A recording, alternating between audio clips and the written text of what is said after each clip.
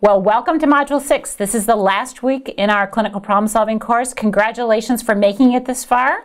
Uh, and this week we're going to do a quick review of the work that we've done and we're going to show you how to apply it to your skills in taking multiple choice tests relevant to medicine and also in teaching clinical problem solving. So there's something in it in this test in this module for both students and teachers alike.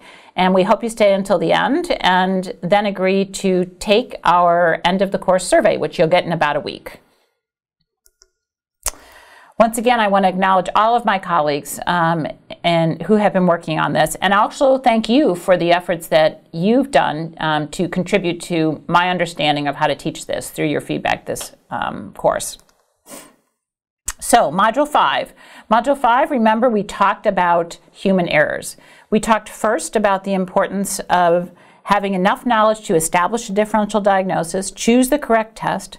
If you are going to perform the test yourself, perform it correctly, and then interpret the test correctly. And knowledge was one component of accurate diagnoses. So, failing to understand things might cause human errors, but so um, were biases.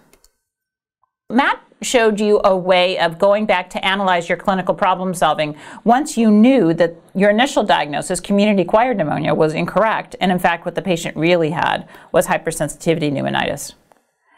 He started, of course, with our patient illness script, initially a 66 year old woman who was felt to have acute pneumonia. Um, and who, for whom we missed a critical element of the history, the fact that she was a bird owner. So if we retraced our steps, our first error might have been um, a problem with um, identifying the right information and getting the right um, history from the patient. So instead of thinking that she had her cough, fevers, and shortness of breath for only three days, we should have been a little bit more diligent and found out that those symptoms have actually been going on for some time. Another way of making a mistake, as we talked about in the last slide, is that we didn't perform the test correctly. And if in fact our physical exam was performed such that we only identified rhonchi and missed the fact that she had crackles, that's another contributor to the error that we made in our diagnosis. And we could go on for each of these steps and identify ways in which we might be better the next time we face a patient um, who has similar signs and symptoms. So our goal for today is to help you understand how experts use their understanding of disease and the types of strategies we've been working on in clinical problem solving to um, build test questions. And we're going to go back and use our old friend, the compare and contrast reading, and our prioritized differential diagnoses to put together these questions. And once you learn how to put together questions, you'll also learn how to answer questions much more effectively and efficiently when faced with them on high stakes clinical exams like the national board exams. Then we're going to spend some time um, working with tips that you can use to teach others how to use this method of clinical problem solving. And finally, um, before we end, we'll follow up on our patients and their problems and make sure everyone understands um, what was the result of our hard work in trying to investigate the problems of patients you met in week one. So remember, compare and contrast thinking is important because it helps reinforce understanding by connecting new information to previously stored information.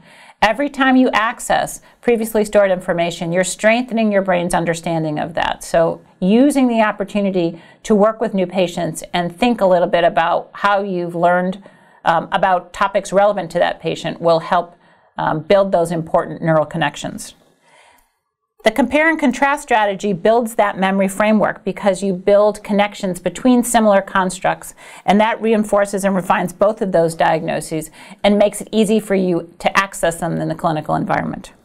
And lastly, compare and contrast helps prioritize essential and differentiating features. So it tells you what are the most important facts and features to remember about each disease. So you can prioritize um, memorizing those elements and not pay as much attention to things that are a little bit more ambiguous or um, not particularly differentiating. We've been using vertical reading throughout um, our course. You identify a syndrome, a syndrome like acute dyspnea, or a syndrome like, which I know there's a lot of controversy on the homework about this, um, aseptic meningitis, that's meningitis without an obvious um, organism present, And then you identify a diagnostic triad, like diseases that can cause those specific syndromes. As many of you have recognized throughout this course, the diagnostic triad are the three diseases you pick to compare and contrast for this particular syndrome um, are somewhat random. Um, because there are many, many diseases that cause a particular given syndrome. But we picked three because it makes it easy for us to, to um, engage in this compare and contrast exercise and build those memory networks. And then when you've got those down, you can do another diagnostic triad relevant to that syndrome. And then we asked you to complete a, a vertical reading table. The syndrome features were features that are seen in all three of the diseases in your diagnostic triad.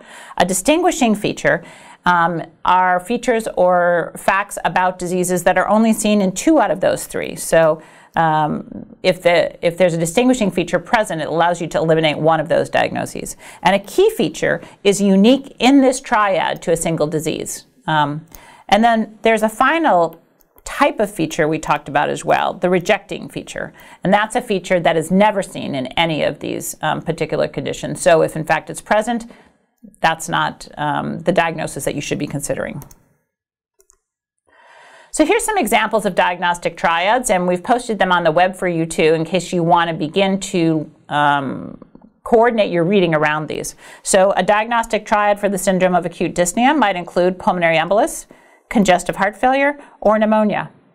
One for jaundice might include hepatitis, cholangitis, or hemolytic anemia. One for vertigo might include benign positional vertigo, Meniere's disease, or a brainstem stroke. So you get the point. Um, I could actually change this for jaundice to include um, hemolytic anemia um, or um, uh, granulomatous hepatitis.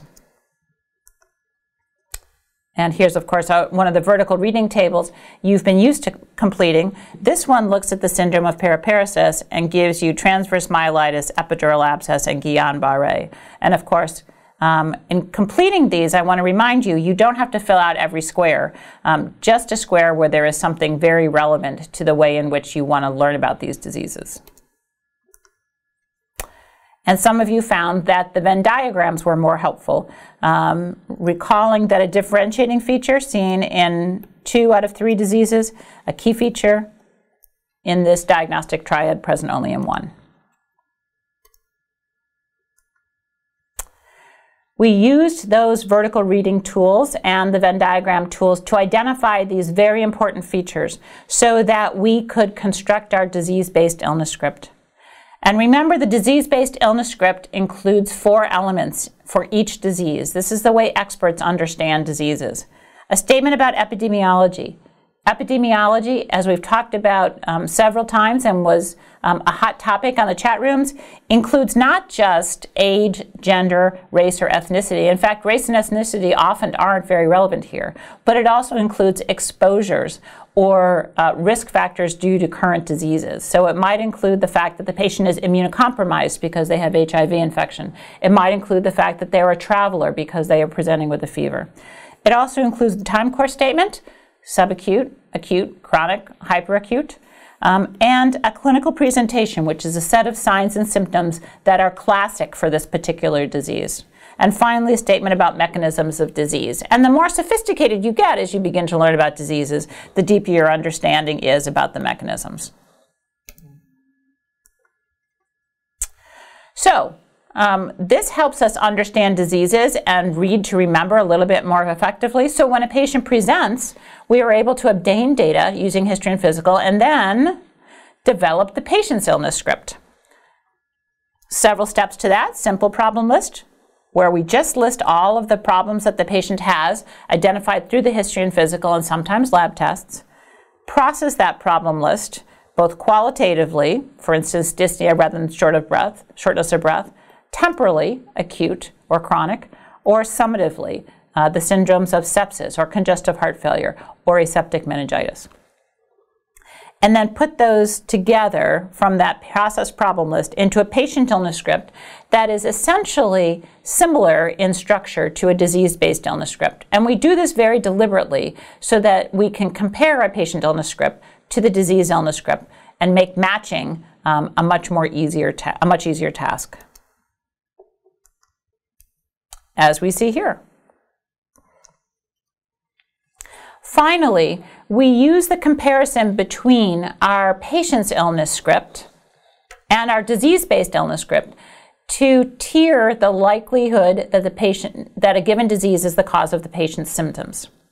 And we said a tier one po possibility on the um, likelihood ruler here was clinically high likelihood, either likely or very likely.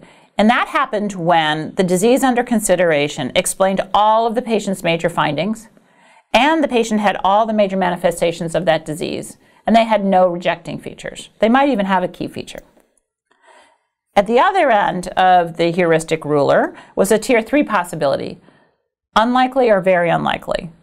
And that occurred, or that was the appropriate category, if the disease under consideration um, had uh, only an ability only to explain a single or uh, maybe a couple of features of the patient's presentation, or if the patient had a rejecting feature of the disease in question. And in between, we call this uncertainty or moderate likelihood. So, how does this help us understand how test questions are written? Well, the goals of good test questions are to differentiate between those who have an acceptable level of knowledge and problem solving skill and those who are somewhat less qualified.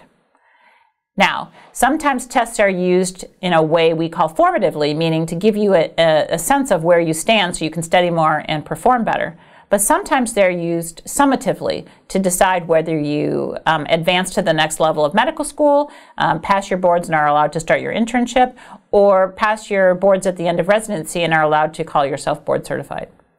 And in a perfect world, a goal of good testing um, should be questions that test more than factual recall. After all, you can look up a particular uh, biochemical pathway in the, uh, on the computer or the dose of a particular drug. So we really want to spend our time more on questions that require you to analyze, interpret, and synthesize data rather than those that just ask you to remember facts. So this is what we do. First, you start with a testing objective. Um, it might read something like this. The good physician should be able to differentiate between the clinical presentation of mononucleosis and strep throat. That's a perfectly good testing objective. And we actually might even say that a third year medical student should be able to differentiate between that, between those two entities because they're so common. Then we're going to build a clinical case, and this clinical case is um, going to be built not out of memory, but um, as what I'd call a convenient fiction. Uh, and you'll see in a minute how we stack the deck towards the diagnoses we're trying to emphasize. Then we're going to identify what's the right question to test this objective, add the correct answer to the question, and then several distractors. And distractors, of course, are those wrong answers. Um, if the answer is B, it's A, C, and D. So here's the core framework of a test question. There's a stem, and the stem is very simple. For instance, a 15-year-old man with a sore throat is the core is the initial core stem. And the question I'm going to ask because I want to get at that objective is which of the following is the most likely diagnosis? And so I'm going to build a case um, that tells a story, a convenient fiction about this male with sore throat, um, and then get them to choose whether or not the patient could have strep throat, acute HIV infection, infectious mono, or viral URI. And of course, all of you are sitting here thinking, you know what, that's a diagnostic triad. And in fact, it is. And that's exactly the relevance in sort of understanding what diagnoses can be linked to common symptoms, because you'll see this a lot on high stakes exams. So, how do I build the clinical stem beyond that 15 year old man with a sore throat? Well, I'm going to start with the key and differentiating facts for the primary diagnosis that's going to be the right answer. So, if the correct answer for this particular question is going to be infectious mononucleosis, then the key and differentiating features we identified through our vertical reading or through our um, Venn diagrams were sore throat that was last that lasted at least a week, not everybody has sore throat for a week, for more than a week, but that's very characteristic of mono. Exudative pharyngitis, that was very characteristic of mono. Um, left upper quadrant pain, that was the splenomegaly, right? Um, posterior cervical nodes, remember that was actually almost a key feature in this diagnostic triad between HIV, acute HIV, um, beta hemolytic strep throat, and uh, infectious mononucleosis, and hepatitis. So I'm going to sort of say, okay, I'm going to try and work these into a story. That'll be my convenient fiction to show people I'm creating a case that looks like infectious mononucleosis. So it might look like something like this. Here's our 15 year old man, complains of sore throat for 10 days, getting progressively wor worse. In addition, he complains of abdominal pain in the left upper quadrant, and today his eyes are yellow. He is febrile with slightly jaundiced sclera. His pharynx is inflamed with tonsillar exudates. There's diffuse anterior and posterior cervical nodes present. Splenomegaly is noted along with tender hepatomegaly. After that, because this case here is really a very strong case for infectious mononucleosis, what I'm going to do is I'm going to try and trip you up by adding some distractors to the case to try and lure you into choosing something other than the right answer. And this is exactly how we build cases. So we talked about the case being very good for infectious mononucleosis, and we're going to throw in some red herrings, as they would say in the States. That's sort of a distractor. He's sexually active with one partner. Okay, so we want to give him a history that might be compatible with acute HIV. His younger sister has a history of strep pharyngitis. Well, now he's got an exposure history, right? Um, and his nose is slightly stuffy. That might make you think, well, maybe this is just a viral upper respiratory tract infection. So getting the answer right requires that compare and contrast thinking. So you were thinking this might be um, infectious mononucleosis, and then they added this concern that his younger sister has a history of strep pharyngitis. But you know from your reading that this syndrome that he has going on for 10 days is way too long for strep. And strep infection doesn't cause posterior node splenomegaly or hepatitis. That's what you got from your reading and compare and contrast vertical reading uh, for these two entities. His nose is slightly stuffy, but we can explain that away because enlarged tonsils can cause a stuffy nose. And upper respiratory tract infections, those viral URIs, don't typically cause hepatosplenomegaly or posterior cervical nodes. Very unusual. And you know that again from reading. He's sexually active with one partner. Well, that does give him a risk factor for HIV. Um, but as we know from our reading, acute HIV usually has oral ulcers and may in fact have aseptic meningitis. So um, I just created a question uh, that could be used for any of the conditions that we talked about here, but we constructed it so that the answer was what's the cause of this infection, and the answer is acute mononucleosis. Um, we could, in fact, ask another um, question with the same stem. We could, in fact, ask a series of questions about what's the organism responsible for this clinical presentation, and they'd have to say it was Epstein-Barr virus. Or what's the appropriate treatment for this condition? Or what's the appropriate diagnostic test? Um, but the processing and the illness scripts are still relevant because um, all of these questions would require you to do an accurate diagnostic assessment before you're able to answer each of them. So if I was writing tests, test questions for a particular organization, I could get four or five questions out of this um, particular STEM, um, just what we've constructed today. So let me test your understanding. If you were going to change the stem of this question to more accurately suggest that the right answer was group A strep infection, how would you change it? Would you A or 1 shorten the duration of symptoms? B, increase the age of the patient from 15 to 30. Sorry, that's two. Or three, add palatal ulcers to the presentation. Well, the answer, of course, is that you'd shorten the duration of symptoms. So if instead of a convenient fiction showing you that the most likely answer was infectious mononucleosis, if you said he's got symptoms for three days, that's going to make me think more of strep throat. Of course, you'd also have to get rid of the hepatosplenomegaly and the posterior cervical nodes, but this would be the first step. Um, increasing the age of the patient from 15 to 30 wouldn't make sense because strep throat doesn't usually affect adults that much. And adding palatal ulcers would not be the right answer um, for a group A strep infection. But if you wanted to change the, the question to make it more likely to be acute HIV, this would be the right answer. Does this make sense to you? Good.